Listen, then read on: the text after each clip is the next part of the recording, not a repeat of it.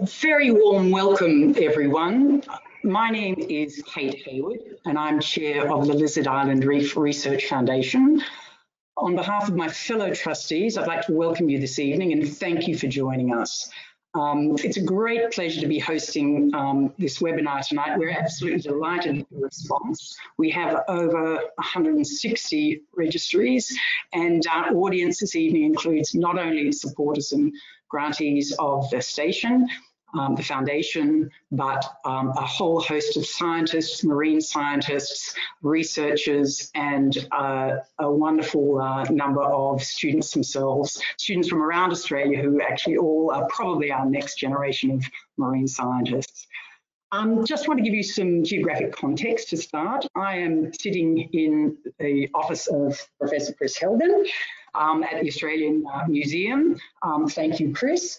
Um, and Anne and Lyle, who I hope you can see on your screen, are um, up on the tropical island of, of Lizard. Uh, they uh, did try and uh, drag their kit, their webinar kit, down to the lagoon um, to have a sort of a beautiful uh, moon moonrise for you all and literally have a reefside chat. But uh, uh, Telstra didn't quite extend there, and they're in their office there at Lizard. I'd first like to acknowledge the traditional owners of um, the, the, land on which the museum stands, um, the Gadigal people of the Eora Nation, and I'd also like to acknowledge the traditional owners of Jiigurru or Lizard, the Dingaal people, and just acknowledge all elders past, present and emerging. Just a couple of housekeeping matters about this webinar. We expect it to run for 30 to 45 minutes. Um, it will be recorded. Uh, we will, uh, you will be able to access this, or your friends will if you're not with us tonight. Um, we really want to make it as interactive as possible. Uh, we're really hoping that much of the discussion can be Q&A led. So um, I'm going to turn over to Kris in a minute um, who'll just speak, speak, briefly, and then to Anne. And then the second half, we really hope that you will um, uh, join in and it's a wonderful opportunity to engage directly with Anne and Lyle. And because there's so many of you, um, you're actually not able to speak, but you'll see on the little panel on the side of your your um, your computer, your laptops, uh, you can type in your questions, send them in, send them in any time, um, and please don't be shy to do so. Um, just a few words about the foundation. Um, it was established 40 years ago um, and it basically exists to support the work at the station um, and elsewhere on the reef. Uh, we basically uh, fund fellowships and grants. We provide um, backup uh, for the facilities at the field station itself and then also um, you know, provide support not only for Australian researchers but those from overseas as well. Um, since its founding um, 40 years ago, uh, the foundation has raised close to $12 million, much of that in the last 15 years. Um, at any one time in any one year, we typically try and raise about half a million dollars, of which half of that goes to to um, to, to grants to fellows, and the other half to to infrastructure. Um, why is this so important? Well, you'll find out shortly. Um, now to our participants, Anne and Lyle. Most of you, um, many of you uh, beamed in tonight will know Anne and Lyle. They really need no introduction. Um, they're largely responsible for making the station the world-class facility that it in fact is. Um, they're the marine scientists that have um, basically um, stewarded this um, this field station uh, so productively, efficiently um, over the over the last 30 years. In fact, um, they've also uh, nurtured and supported the careers of many many scientists, and uh, over the three decades they themselves have observed many changes in the waters up around Lizard. Um, beside me now is Kris. Um, Kris, thank you for having me in your office. Uh, Kris joined uh, the museum in June this year, a very difficult time, I would imagine, to, to join when uh, everything was, was shut down. Uh, Kris comes with an incredible pedigree. He's in fact a mammalogist, um, he worked from 2008 to 2017 as the mammalogist in chief at the Smithsonian, uh, the National History, History, Museum of Washington, D.C. He's a world-renowned, um, world-renowned in his field and also a passionate uh, commentator on um, biodiversity uh, conservation. So um, I'm going to hand over to Kris now. He's just going to talk a little bit about his role uh, and how it relates to the station, and then he's going to introduce um, uh, Anne and Lyle. So please send in your questions anytime, because as I say, we really want this to be interactive later on. Kris, thank you. Thank you, Kate. Thank you very much for welcoming all of us here tonight, and it's a pleasure uh, for me to host um, part of the gathering from the Australian Museum in Sydney here tonight as well as uh, being able to, in a moment, introduce you to uh, Dr. Anne Hoggett and Dr. Uh, Lyle Vail, who are there at uh, Lizard Island. Um, I have had the chance to meet some of you already, but I might be new to most of you. So a few words uh, of background and introduction. I am the Australian Museum's uh, new chief scientist and director of our Australian Museum Research Institute. Uh, one very important branch of which is the Lizard Island Research Station, which brings us uh, together tonight. I'm absolutely thrilled to be in this role. My first visit to Australia almost 25 years ago from um, when I was a student at, at, Harvard, an undergraduate student, was uh, to try to meet Tim Flannery behind the scenes at the Australian Museum. And that was the first time I came here as a young researcher. Uh, and I've been uh, coming ever since. I did a PhD in Adelaide, University of Adelaide, working in New Guinea and other areas of the tropical north.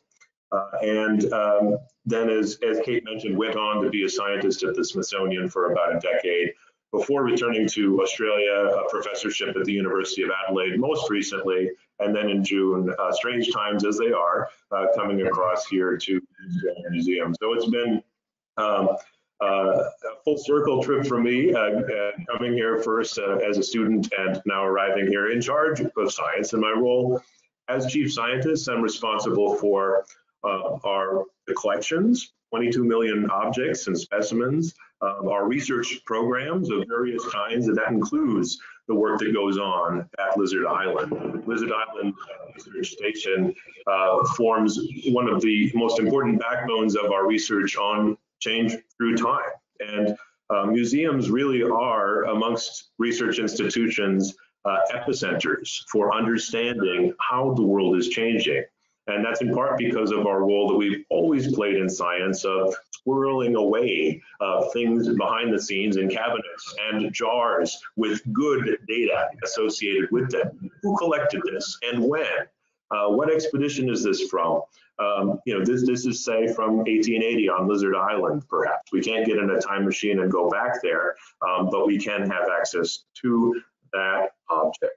And now that kind of work takes on uh, new life and new meaning in the last few decades as we've had uh, the physical presence of the Lizard Island Research Station out on the Great Barrier Reef, one of um, the most important um, centers of research uh, there. The world is changing and it's changing very fast. Uh, and that data that has accumulated through time there, which we're going to hear about tonight, uh, is so important to understanding the environmental impacts of climate change. But basic questions, things like um, how rich and varied is life on Earth or in Australia or in the reef? You know, uh, what are how are organisms distributed? Uh, which ones are common versus rare? Which ones are threatened with extinction? And how are these uh, species summing up into communities and how are they changing with time?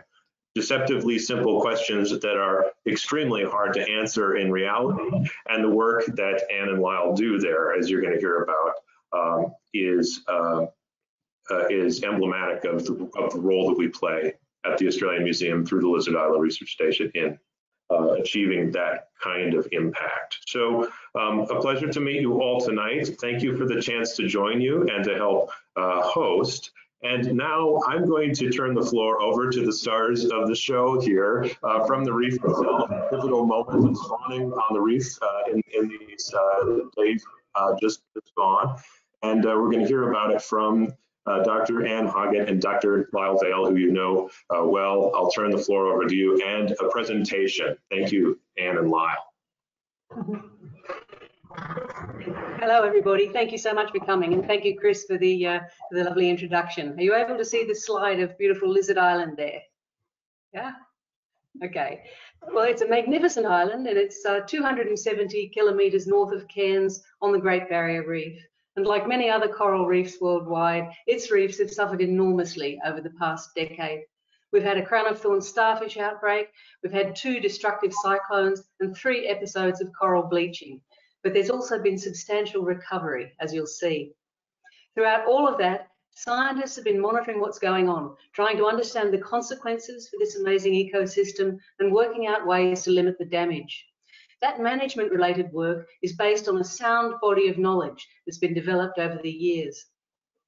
The research station is a tiny drop in the ocean. Whoops. Sorry, I think I've mucked up here. okay, next slide. Sorry about that. Um, this is a research station which is internationally important in this effort of documenting uh, life and processes on the coral reef.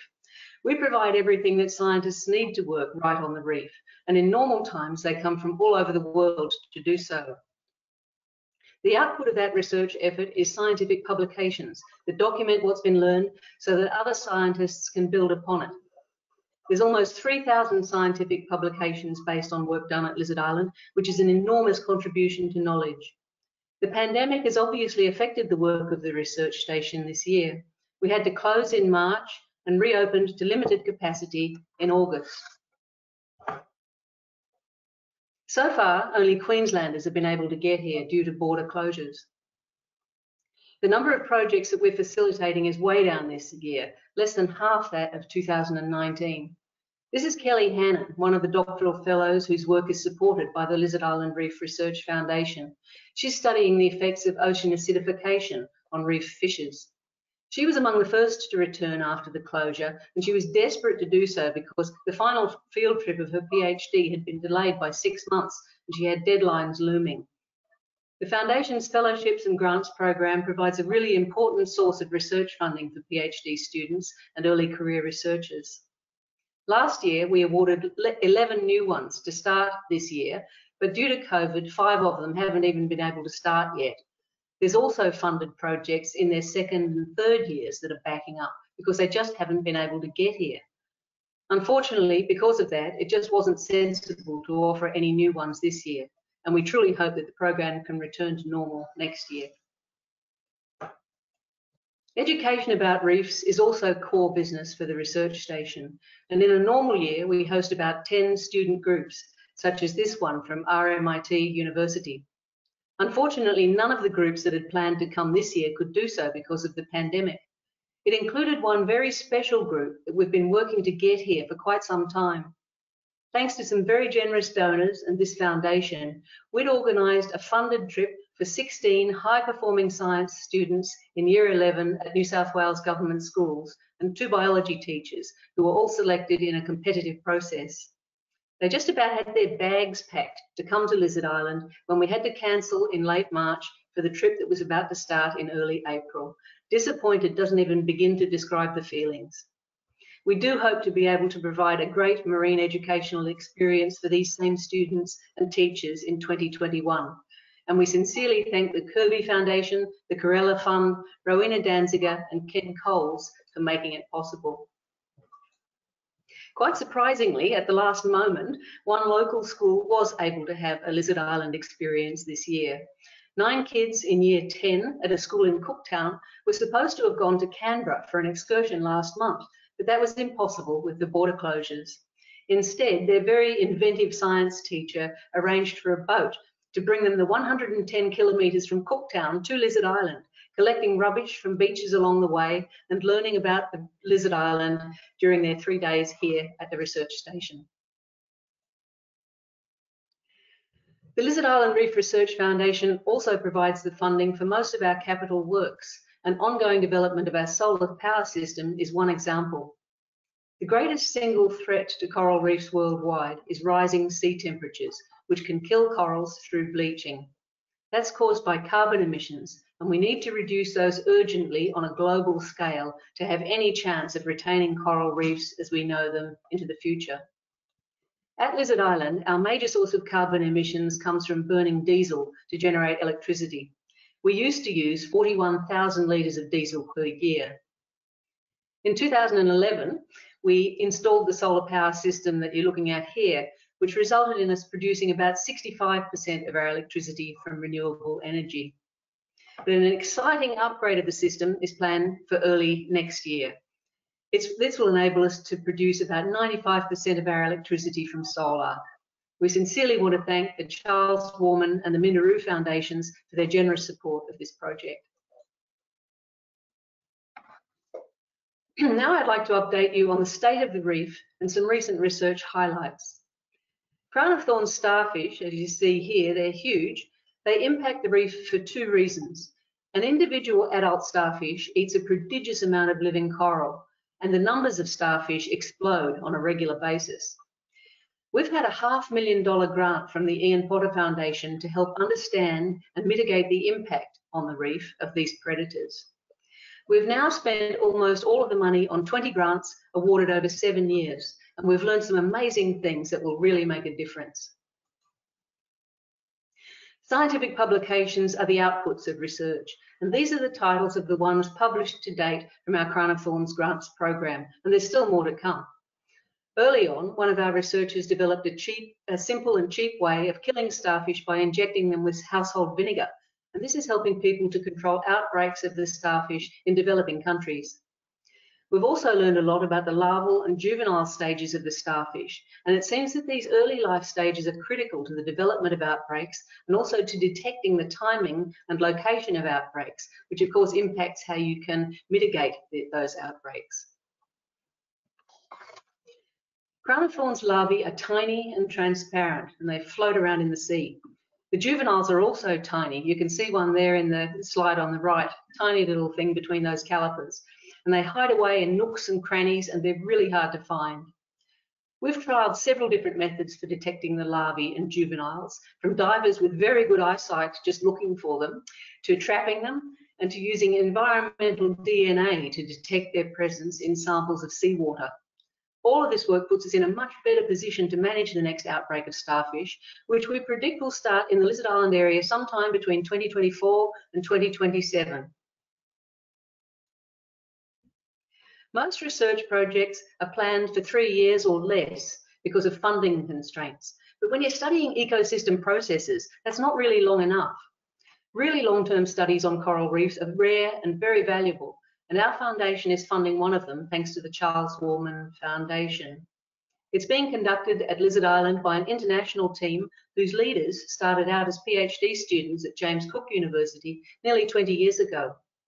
They're interested in how corals build and sustain the coral reef environment that so many other animals and plants depend upon. They use underwater robots like you see here and also diver held rigs to photograph areas of reef in three dimensions, producing millimeter scale maps so that they can see change over time at many, many sites around Lizard Island.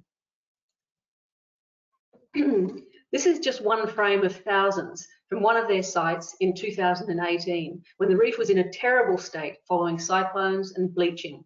There are no large corals to be seen at all, although there are some tiny ones if you look closely.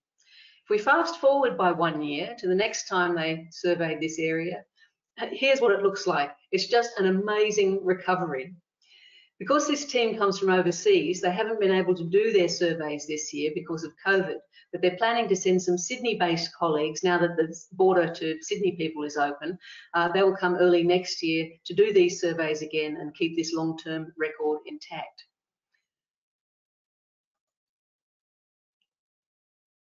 Okay, this is this is what the reef looks like now. Sorry, I got a bit ahead of myself there. um, yeah, because they haven't been able to um, to do their normal records here, we've just got a photograph that Lyle and I took. So it's really rebounded hugely over the two years that's covered by those uh, three slides. Okay, they're not just looking at what's going on with the corals. They're measuring all sorts of other things too, like temperature, water currents, the size and shape of nooks and crannies, and the presence of other animals and plants.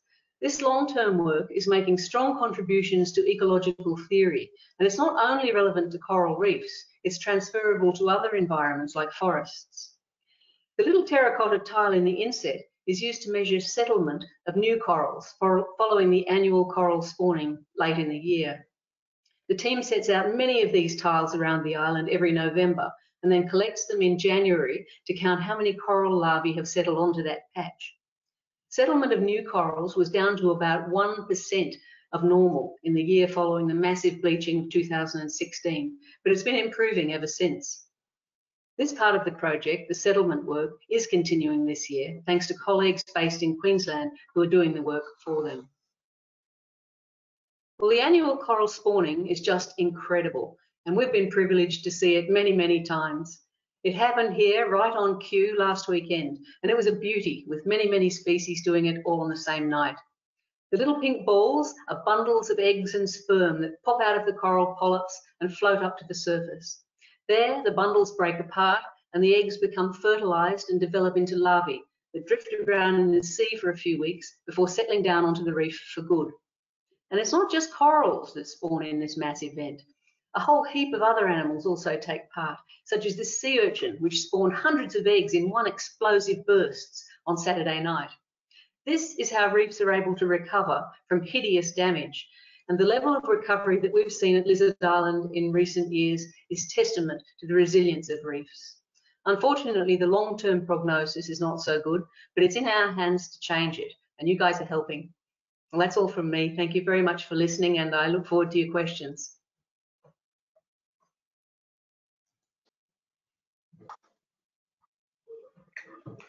Thank you very much, Anne, for the presentation. And uh, so now we have the benefit of, of, Anne and Lyle here. We also have Kate, of course, from the uh, foundation here with us as well. So uh, ready to take some questions. I'll, I'll, lead us off the bat here, Anne and Lyle. Um, so, you know, when I hear about work on the reef and we see those pictures year by year, you know, it seems to me that working on the Great Barrier Reef can be a little bit of a roller coaster ride. There's the cyclones and bleaching, and things look so dire uh, one year, but then things look a lot healthier around the corner.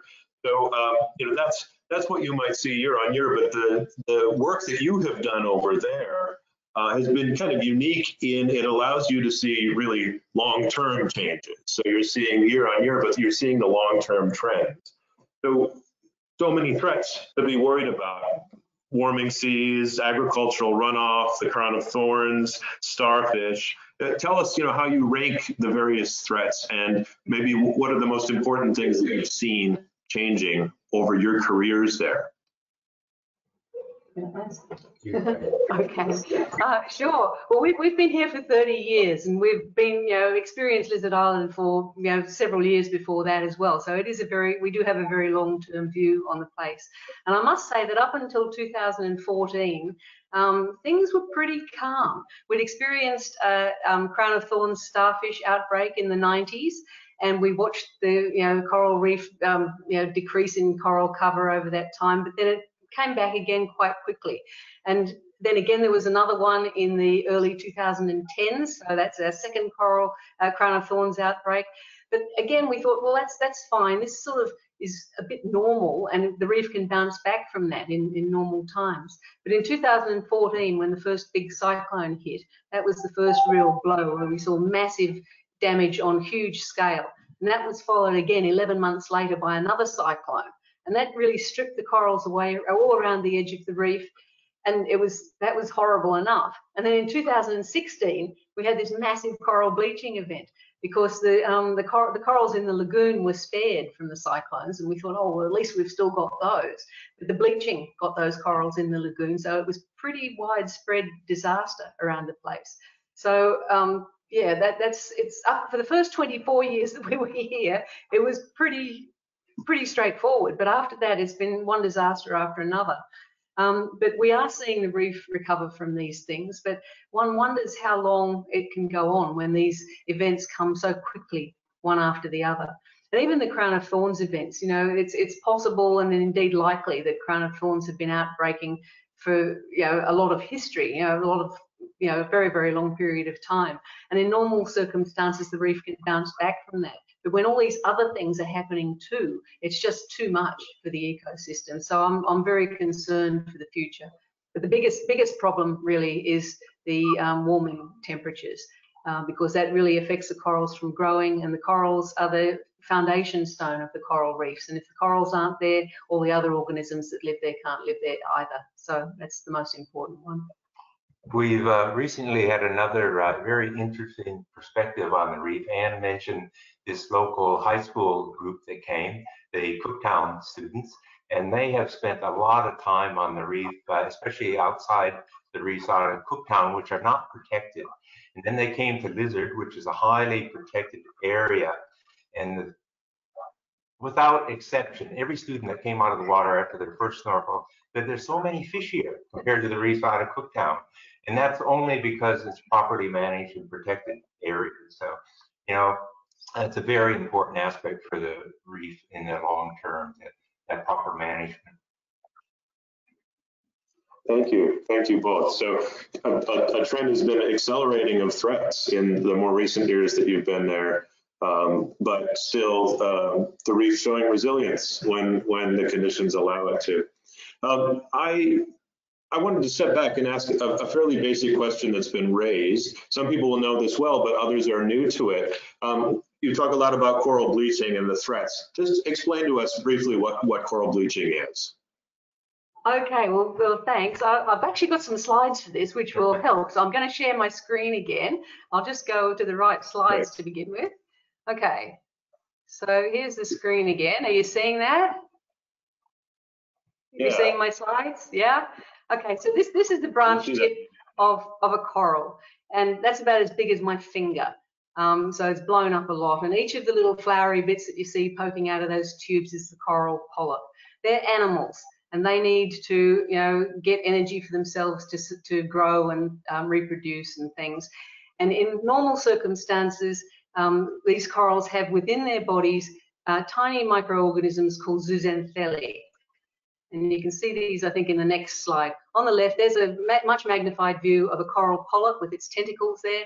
And those little tiny brown dots that you see, they're the zooxanthellae that live within the corals. And they can photosynthesize. And so that's why you only find corals in clear, shallow water because they need the photosynthetic products of these zooxanthellae to, for their nutrition. They get about 90, 90 to 95% of their nutrition from the sugars produced by these zooxanthellae. It's a very finely balanced um, symbiotic relationship within the coral body to have these other organisms living there symbiotically within it. And when the biochemistry gets out of whack, um, the corals are actually able to expel these um, microorganisms. And they do that because when they, it starts to get too hot, the zooxanthellae go into overdrive and start producing too much oxygen. That's like having what do you call them, free radicals running around in your body. They're not good for you. And the corals can sense that and they actually spit out the zooxanthellae. And When they spit them out, as you can see, it's partially done in the slide on the right. Um, it's a clear animal. The coral polyp is clear, and it's the zooxanthellae that's giving it much of its color. And so when, an, when a coral is beginning to bleach, it goes paler and paler until eventually it hasn't got any zooxanthellae left at all, and then it's a fully bleached coral. It's still alive, but it's really not well because it's not getting 95% of its nutrition. So here are corals that are starting to bleach. Um, they're uh, pretty pink ones up at the top. Um, they're actually in a stage called fluorescence, where they start to actually produce more um, proteins themselves as a sunscreen to protect themselves from the, the, um, the sun. And it's very costly to produce, so they can't keep that up for very long. So the ones right up the top and this one here at the front, they're completely white. So they're still alive, but they, um, they're very sick and they're not going to last very long in that state. And then they move on and, uh, and die. And that's a, that's a fully bleached coral that's still alive. So I'll stop showing you what I'm seeing now. Um, so when, when that happens on a big scale, that is mass bleaching. And we have experienced three mass bleaching events around the world in the last five years. Now that's incredible because the first mass bleaching was only just only noticed in the 1980s. So this is something that is really picking up pace and it's really a big problem for coral reefs all around the world. Thank you. Thank you, Anne. I've got a question here in from um, Phil who says with the regrowth, in fact, that was a, a, a really heartening slide uh, that showed the uh, changes over the last uh, 12, 12, months. With the regrowth that you're seeing, what type of diversity is there um, in the actual corals that are coming back um, compared to what was there beforehand? Um, you know, are there sort of winners and losers? Um, and also, uh, what about the fish um, species that you're seeing? Um, you know, has the, has the fish numbers dropped off, you know, appreciably as well? And are they coming back as well? Yeah, well, first about the, the coral diversity, it's it's a hard question to answer because it's very difficult to identify corals, and this is you know one of the this is what taxonomy does. It's try to identify all things and you know separate the species and have names that you can hang on them. Uh, there's more than 400 hard coral species in this part of the Great Barrier Reef, and some of them are very, very different, difficult to tell apart from each other. Um, we do have surveys going on that are people who are very, very good at identifying corals have been, you know, re repeatedly going to the same place, including the project that I talked about before. And we're finding that almost all of the diversity is on its way back. Um, there may be some species that we haven't found yet, but I'd, say a very large proportion of the coral species that were here before these disasters are still here now. And um, yeah, more are coming in all the time, I'm sure. Uh, in terms of the fish and other organisms, when the corals bleached big time in 2016, um, we did lose a lot of the tiny fishes. Uh, the little fish that live in the um, holes around coral and dart back into the coral when you swim over the top of them because that's their shelter. Um, a lot of those just died um, because they had no shelter. Some of them actually eat the coral polyps, so you know they lost their food source. But I think mostly it was the lack of shelter from um, their predators and things. Funnily enough, the average size of fish on the reef went up after these disasters because it was the little fish that disappeared and the big fish that were swimming around looking really fat and happy because they were able to get the little fish much more easily than, than beforehand. Mm-hmm. But we've been three years now without a major disaster and I've shown you the coral recovery. It seems that the fish populations are coming back as well. There's certainly lots of um, recruits um, coming in. This is the time of year when our researchers put out light traps to capture the tiny reef fishes that come back into the reef from the plankton to settle. Um, and yeah, there, there's loads and loads of them coming back in now, and there's lots and lots of species. So I'm very um, confident that the reef fishes are coming back as well as the corals. Thank you. A good reminder of how interconnected all aspects of life are in such a, a complex complex ecosystem like the reef. Um, I want to change tact, tact a little bit. Um, uh, and, uh, you know, we have, as many will know, uh, just had a major reopening event at the Australian Museum in Sydney uh, with uh, a full-scale renovation after 15 months. But you too, uh, on Lizard Island are undergoing various infrastructural changes and improvements. And can you tell us a little bit more about the um, solar and battery upgrades uh, going on there. Yeah, sure, certainly. Um, by the way, I can't wait to get down to Sydney and see that new museum. In fact, I've seen photos, but because of COVID, I haven't been able to get there, and it looks amazing. It uh, really looks special. What a job! Yeah. Yeah, Ours is a bit meager in, you know, in comparison, but it's for us. We feel it's very important. Um, you know, as Anne said in her talk, we really wanted to reduce our uh, CO2 emissions. And we'll say the station is incredibly green. You know, we recycle everything we can. We have solar hot water entirely, and the list could go on and on. But the uh, the newest upgrade, of course, is our solar power system. And uh, the, the new one is going to consist of, if you're a little bit interested in this stuff, about solar, 400 uh, solar panels and that's about 99 kilowatts of uh, solar energy that we're going to get. The during the day uh, that drives the station, and all the extra excess energy that we produce is going to be stored in lithium ferrophosphate batteries, and that will keep us running during the night. So this new system is going to allow us to be virtually generator free for 330 days a year. It's only when we get intense clouds for many days in a row that probably the generators will come on and, and keep us going for a little bit. So our CO2 emissions are going to, they're, they're pretty low now, but they're going to really plummet after this. So we're super uh, excited about this new project. Fantastic. Thanks a lot. Um, I'm just going to read out a question here uh, from from um, from someone. I'm not sure who it is. Um, Anne and Lyle, uh, plastics uh, in the oceans and microplastics on coral reefs are an, uh, an, increasing problem. And I do know that the foundation and through our supporters um, uh, have given money for grants in this area. Can you perhaps talk a little bit about the sort of work that's being done in this area um, and how advanced is it and um, how much of a threat uh, do you regard uh, these microplastics? All right, I'm just going to share my screen again uh, for a moment. Um, this is a rather wonderful artwork that was put together um, recently by uh, Frederieke Kroon, who has one of our um, microplastics grants, which were um, generously funded by, by several donors, including uh, the Banya family and um, the Rossi Foundation. So um, the, the, most recent um, iteration of this, they, they came here to look at how microplastics were um, being concentrated in windrows in the sea because little fish larvae get concentrated in windrows and so does all the dust and stuff that lands on the surface of the sea and of course that's where the microplastics get um, concentrated too. So they were here just last week and they're coming here again tomorrow um, to finish this work.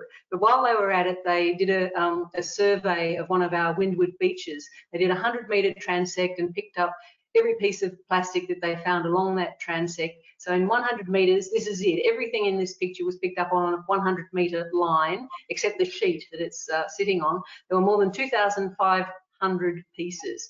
And they've just put together what I think is a rather beautiful thing, but uh, a bit sad as well. There's a, uh, PhD student at James Cook um, University also working on uh, microplastics, and she's uh, looking at where they're most commonly found. So she's taken samples from the, the water column, from the sediment, benthic animals like corals, and, you know, tunicates and things like that. And her, uh, she's still working up her data, but uh, it looks like most of the micro, or a lot of the microplastics are really found in the water column. And that's why Frederieke's uh, project is, is so important here, looking at the windrowing and effect that we get in the, the water column. Because a lot of the zooplankton and the little fish, and that they also go into these areas where the currents are, sort of aggregates everything. And uh, they have found that fish do ingest this stuff. Um, some of the fish they were watching uh, tended to pass it through their body after about eight hours, but I suspect others not quite as efficient as some of those. So it's it's sort of a watch this space uh, type of research because it's quite relatively new. And uh, we've been amazed at the amount of support that people want to give for this uh, important research. We don't really know the effect of microplastics on marine organisms yet. I mean, it, has been shown in temperate organisms, but it's a brand new field in the coral reef, and it, it may not be the same at all. Um, of course, they, they may get to have toxicity from the, the plastic granules, and just the sharp bits might damage their guts and things like that. And of course, plastic bags in turtles is well known to be a, a dreadful thing. Thank you. Um, I'll ask uh, one more question here that's uh, that's come in. Um, you know, the a good measure of the success of any scientific institution uh, has to be how well it's doing at training the next generation and supporting the next generation students and student researchers. And that's something that I um, you know, I really think of when I think of Lizard Island. And uh, I wondered if you might share any stories across a 30-year arc uh, of some of the, uh, you know, students that have come, maybe who, who, have you seen come young and come back and things like that. And also just remind us and speak to us about how um, the Lizard Island Research Reef, Reef Research Foundation supports that kind of work. Yeah, well, Lizard Lizard has an amazing history of people coming back and back and back. Okay, and and uh, I, I, guess let's start at the back side. And the, the Lizard Island Reef Research Foundation provides these, you know, really sought after fellowships. And every year we advertise doctoral and postdoctoral fellowships, and we get amazing quality of uh, fellowship applications. It's quite a selection process. And the fellows that uh, get them. They, it's it's you know it really helps them on their career. I believe they do some amazing work here. It covers all aspects um, from fish to corals to reef metabolism, all that kind of stuff, and uh, it's it's a highly successful uh, uh, fellowship program. And uh, we've had students that come here as doctoral fellows, then they go on to get a position at a university, often go on and do their postdocs, all the time producing papers and that along the way. And then they might get a, a permanent position at a research institute or a university, and they bring their students back to us here. So uh, we've known some of these people for as long as we've been here. Um, so it's a great relationship that way. And we're very supportive of this fellowship program and, and uh, appreciative of all the donors and that that, that uh, fund it.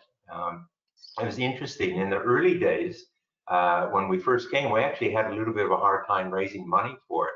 But over the last 15 to 20 years, it's just exploded. And uh, it's it's it's fantastic. We intend to keep it up for as long as we can. And the benefit to the students who get the fellowships is enormous because field money is is difficult to come by and that's what the fellowship covers. It gives them the, the travel money to enable them to come into the field at lizard island for extended periods of time and that's that's very very valuable time for a scientist that field time and the money to do it is, is hard to come by. So they they become um, uh, independent of their supervisors. They don't have to go to their supervisors for the field money, and that makes them more independent. And we, we see them blossom when they come here. And even, uh, you know, apart from the fellowships, the on a more prosaic sort of thing, Lizard Island is really a place where people are mentored carefully, not necessarily by Lyle and I, but by each other because we've got the whole range of people from you know, professors down to honours students who come here to do research and they learn from each other. They talk to each other in a really comfortable and friendly environment and they, they learn. You know, they, people can come here with a boat license, a newly minted boat license, but they really haven't got a clue about how to drive a boat. But other people here will go out with them and train them and help them until they're they're confident to use a boat alone. So it's a really important training ground. And uh, Lyle was talking about two generations of doctoral fellows. We've actually had three. We've, we've had doctoral fellows who've become professors, who have students who become doctoral fellows, and then they have students who become doctoral fellows. So it's uh, it's a you know it's it's a very very long term and continuous process. The circle of life on the reef there. That's uh, remarkable. that has to be the most rewarding aspect, I would think, of 30 years on the reef is seeing that progression of. It is. It's great. Yeah. Yeah. Yeah. So hmm. I turn things back to Kate. Good. Well, I think if um, is that all the questions we've, I- I- we've got? So, yeah. yeah. Okay. I've just actually got one for Kris, which um, which I'll just uh, turn back before we before we wrap up. Um, Kris, who is a mammalogist, in fact, someone uh, heard him uh, describe him the other day that he uh, speaks mammal. But um, I understand there are over 100 um, marine mammals, and um, I just wondered if you could perhaps just touch upon uh, your observations as a mammalogist, what you're seeing changes um, in the marine world of mammals, um, obviously because there's great synergy about uh, what goes on and, and, and not only terrestrial but um, in, the, in the oceans as well. Great question. I mean, um, exactly. Just like reefs, I mean, ocean going mammals, including the biggest animals that ever lived, the great whales, are just these, you know, symbols of the vastness and the wildness of the ocean. But like reefs, we can make a long list of all the kind of challenges and insults that the modern world has delivered to the marine environment and that you know, um, ocean going mammals have to feel the brunt of. You said, you know, there's more than 100 uh, marine mammals. That's right. That's things like seals, sea lions, uh, dolphins, and, and whales, and also you know, dugongs, manatees. So many of these are, most of these are big animals. They live long lives and they breathe slowly, usually just one calf at a time. And so um, if they're being affected by um, any different kinds of insult, it can have a big impact on populations. So ocean pollution, including plastics, as we've heard about, you know, and Anne and Lyle mentioned, you know, the impact on marine turtles. Uh, when we find and have a chance to do an autopsy, a necropsy on a marine mammal that walks up, washes up on a beach, for example, um, it's inevitable now that we find that there's plastic inside the body. And uh, that may or may not be the cause of death. A very common cause of death is entanglement Mm. a, a beautiful, incredible animal like a whale in, um, you know, fishing fishing equipment that is so strong to be able to stay in the ocean for decades that a whale's body just can't deal with it. So, so many um, impacts on, on marine mammals and the shipping traffic is another issue. At the same time, the, like perhaps some aspects of the reef, there's room for some optimism too, because uh, when I think of whales too, I think that how the whole world got their act together and came together just a few decades ago and said, we are not going to hunt these animals anymore. We're not going to have an industrial whaling industry. And that shows us that something that has gone on for centuries, an environmental impact like whaling, um, can be overcome just in a single generation when parties governments come together and make some hard decisions about how they're going to manage some aspect of the environment that gives me some hope for you know what the path forward will really be um, in trying to address carbon and warming oceans, as uh, Anne and Lyle have talked about too. The only real way to do that, the only way for optimism is to imagine that we finally get our act together as a set of global governments and make the changes that are necessary. So thanks for that question. No, no, it's all it's all it's all intertwined.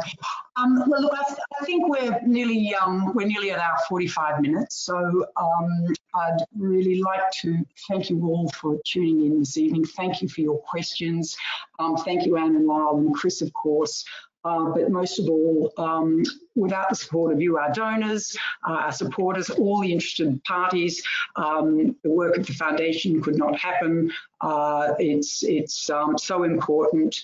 Um, really, uh, we're all care. We're all here because we care. We're all here because we're concerned about the reef, about all the threats, and uh, we need the scientists. We need the scientists uh, because without uh, the work that they do, we don't know really how to uh, how to address these problems. And I think um, it's terrific that uh, there's some optimism, Anne um, and Lyle are seeing the, some regeneration there. Um, our fingers crossed. I don't know what the what the long-term forecast is uh, for for this summer, and what does uh, Lyle, what does the what does the bomb meter say? Well, it, it seems to be one thing or the other, really. It's uh, if it's a um, it's either going to be a hot, dry summer or a cooler, wet summer. And with the La Nina that we've got forecast for this summer, it's looking like it's going to be a, a wetter summer. That means we're more at risk from cyclones. Uh, what I didn't mention before was, of course, reefs are always subject to cyclones, but they, they have a limited impact in area. You know, they, they may have a swathe of some, you know, tens or a hundred kilometres, but the reef is very big and so it, it's a bit patchy, the cyclones um, impact on the reef. But when we have in these warmer days, the cyclones are becoming more ferocious. Um, so we have about the same number of cyclones, but the cyclones we get are stronger. And as we have seen here, a little cyclone, category one, category two, yes, it breaks off a few corals, but it's not a big deal. The reef can recover from that quite quickly. If you get category four and category five cyclones, that is much, much more damaging and takes a lot longer to recover from those cyclones. And that's exactly what we're seeing now. So we're hoping that this year we don't have any cyclones in this area. There will certainly be cyclones in Queensland. Um, I'm pleased to say that we now have a cyclone shelter, which um, was built a couple of years ago following our two big cyclones. So that will certainly affect our response to any big cyclone that comes here. But uh, we hope it's like the umbrella. You know, you take an umbrella, it's not going to rain. So let's, let's hope we don't get one this year.